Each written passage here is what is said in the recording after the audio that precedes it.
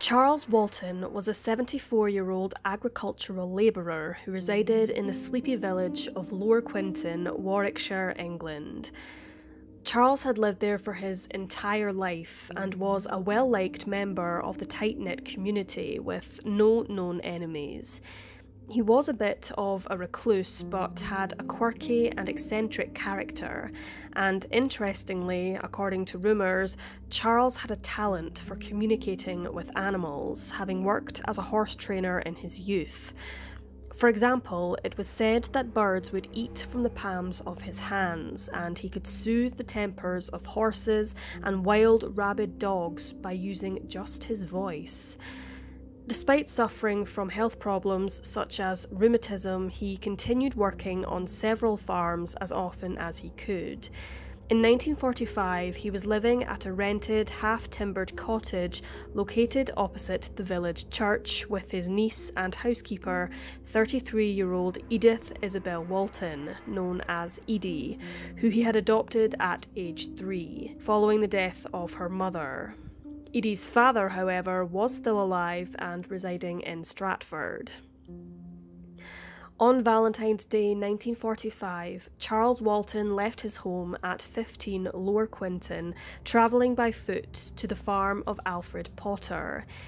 He had worked on Potter's farm for nine months at this point, and the farm itself was known locally as the Firs.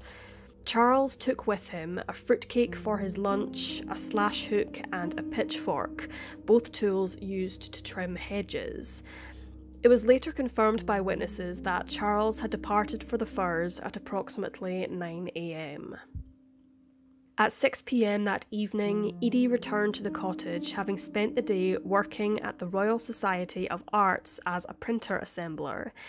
She was puzzled to discover that the property was empty and that there was no sign of Charles, who would normally have finished his duties by 4 o'clock in the afternoon. Concerned, she enlisted the help of her neighbour, Harry Beasley, and the pair made their way up to the farm. En route, they bumped into Alfred Potter, who reassured them that he had seen Charles working on trimming hedges up at the Firs at a location named Meon Hill, the furthest of the Cotswolds Mounds, which has many tales of phantom hunters and hounds. After checking the hedged area of hill ground on the slopes of Meon Hill, the trio made a grisly discovery. In a ditch by the hedges, Charles Walton lay deceased. His pitchfork, which had a broken handle, had been pierced through his neck, pinning him to the ground, and blood had seeped into the grass. His throat had been slit by the slash hook, and it was apparent that he had been viciously beaten around the head with his walking stick. Even more horrifying was that a crucifix had been carved into the skin on his chest. The only item noted as missing was a watch belonging to the victim, however, it was not of any significant value. Edith was distraught, and Beasley comforted her while Potter stood over the scene. Police were contacted, and an investigation immediately began. A post mortem examination found that Charles's trachea had been sliced and he had extensive bruising on his chest and suffered broken ribs. Defensive wounds were also noted, including a cut on his left hand and bruises on the back of his right hand and forearm. The injuries were concluded to have been inflicted by the pitchfork and slash hook. Hair and blood was found on the walking stick, and the time of death was recorded as being between 1pm and 2pm on the 14th of February.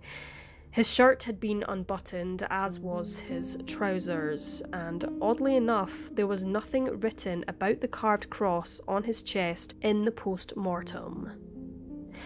It was discovered by the local superintendent Alex Spooner that this was not the first time that a person in the area was murdered in such a brutal way with a pitchfork. In 1875, at nearby Long Compton, a woman named Anne Tennant had been killed in a strikingly similar manner. Her body had been pinned to the ground with a pitchfork, and a crucifix had been etched onto her chest. Her killer was a man named John Hayward, who told authorities that he believed her to have been a witch who had cursed him and the other villagers. Later, it was discovered that the methods used in these ritual type killings was a traditional Anglo Saxon method of disposing of witches. Hayward was sent to live out the rest of his days in an asylum for the criminally insane. In 1885, a young ploughboy reported several sightings of a ghostly black dog, nine days in succession in the same place. An investigator in the Walton murder case, Robert Fabian, later claimed to have also seen this dog with his own eyes near Meon Hill at dusk. It had run past him, and a little boy appeared but had not seen the animal. The large black dog was reportedly found the next day, hanging from a tree in the vicinity of where Walton's body was found. However, this was never officially confirmed. The ploughboy from Ulverston also allegedly saw an apparition of a headless woman, which coincidentally matched up to the timeline of when his own sister passed away. There were even whispers around the village suggesting that the young boy was related to Anne Tennant. Nine years later, the unverified connection was found out to be that Anne was his great grandmother. The boy's name was Charles Walton. Alex Spooner also found that Meon Hill, the place where Charles Walton's body was found, was shrouded in mystery. Tales of dark magic and witchcraft only grew speculation that Walton's death had something to do with the occult. Authorities were not too keen on following up the witchcraft theory and believed that the pensioner had been slain in a random attack by a stranger or person known to him. The crime scene was examined numerous times, however, the silver watch that had disappeared was not yet recovered. Police interviewed over 500 people yet couldn't find any clues to suggest who had taken Charles's life and why. Delving deeper into Charles's life, it was brought to light that he had moved to the house during World War I, and in 1927 his wealth was at its peak after the death of his wife. Up until his own death, his savings had rapidly depleted, yet it could not be explained as to why he had lost so much money during this time. Interviews with various other dwellers in Lower Quinton once again brought life to the rumour mill that he had been practicing witchcraft. Apparently, an unidentified man was seen aimlessly wandering the hills in the middle of the night, who many suspected to be Walton. He was said to carry out rituals to hex and blight the land. Some people actually blamed Charles for a crop failure in 1944, and apparently, having kept natterjack toads as pets, they all appeared one day in several local areas, leading people to believe a hex had been carried out.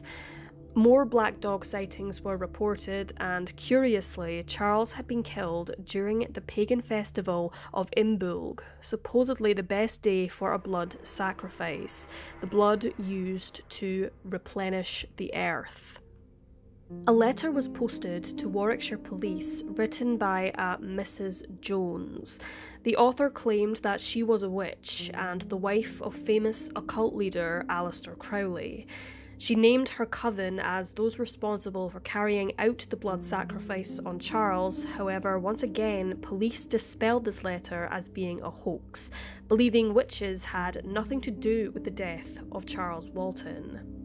The cloud of suspicion fell upon the last man to have witnessed Charles on the day of his death, which was 40 year old Alfred Potter, sometimes referred to in the media as Albert Potter, who conveniently left the crime scene just as Warwickshire police arrived.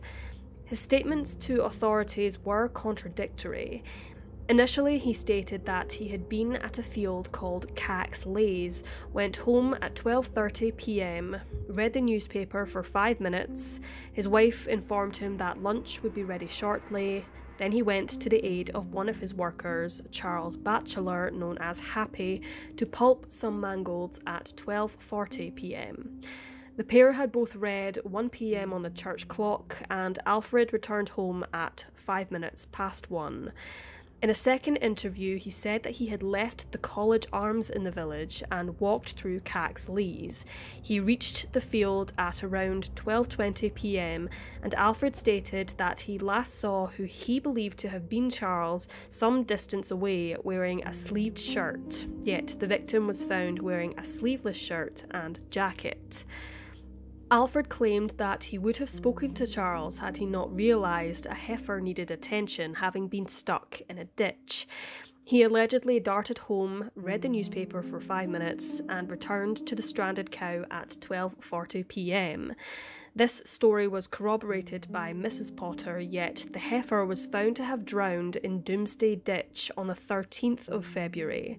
Alfred said that his fingerprints had been left on the murder weapon as he had apparently inspected the scene for himself before authorities were contacted. He said Harry Beasley had asked for him to check and make sure he is gone. However, Beasley denied that he'd said anything of the sort, as to him it was obvious that Charles was no longer alive. Potter's fingerprints were not actually found on the pitchfork, however, as it appeared that any trace of fingerprints had been carefully wiped from it. Describing the timeline of what happened that day didn't quite match, and the money he had paid Walton also was not consistent with the facts. However, despite all of this, authorities could not find a motive as to why Alfred Potter would murder Charles Walton. There was a possibility that there had been a dispute over money, as Alfred had borrowed some from Charles. However, it was merely a rumour that police couldn't find any concrete evidence of. Many people believe Alfred Potter was the man responsible, yet he was neither arrested nor charged. Another theory was that Charles became a victim of a bloodthirsty fugitive. Located near to Lower Quinton was a camp which was full of Italian prisoners of war. Camp rules were rather lenient, so many were permitted to walk freely and unsupervised around the villages, including the farms.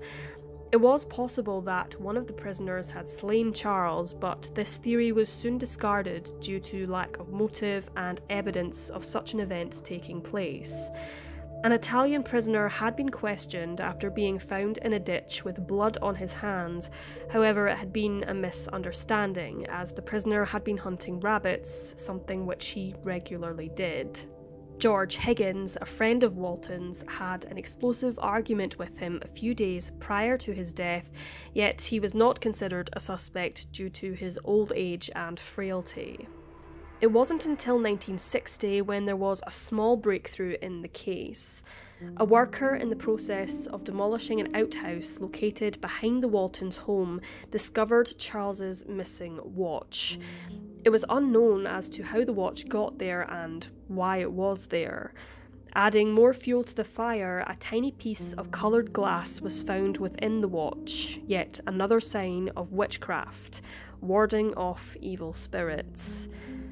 Scotland Yard detective Robert Fabian, who was heavily involved in this case and called Meon Hill a bleak and lonely place, ominously wrote in his book The Anatomy of Crime I advise anybody who is tempted at any time to venture into black magic, witchcraft, shamanism, call it what you will, to remember Charles Walton and to think of his death, which was clearly the ghastly climax of a pagan rite.